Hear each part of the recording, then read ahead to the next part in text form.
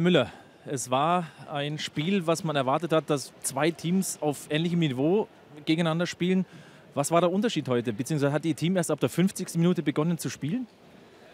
Nein, ich denke nicht ab der 50. Minute. Es ist sicher äh, unglücklich, dass wir 1-0 in äh, Rückstand gekommen. Man hat äh, mehr Chancen im ersten Drittel und äh, wir schaffen es einfach einmal mehr, äh, nicht in Führung zu gehen und äh, dementsprechend sind wir nachher 1-0 wieder in die Pause gegangen und das ist sicher nicht gut gewesen denke, mit der Leistung kann man dann nicht zufrieden sein. Ähm, jetzt geht natürlich das Theater wieder los, die Fragerei nach dem Trainer. Sie können es wahrscheinlich nicht mehr hören, aber was sagen Sie dazu? Ja, es ist kein Theater. Schlussendlich, äh, wenn man äh, nicht gewinnt und nicht punktet, dann ist die Leistung nicht gut. Und, äh, wenn man hinten ab ist, braucht man den Punkt, braucht man den Sieg. Und da sind wir sicher nicht zufrieden heute Morgen.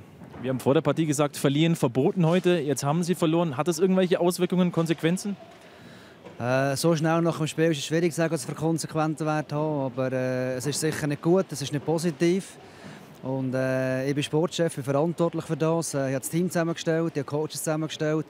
Und äh, jetzt werden wir weiter sehen, was passiert. Morgen dann in Biel mit Pekka Tilkonen? Ja. Alles klar, Dankeschön.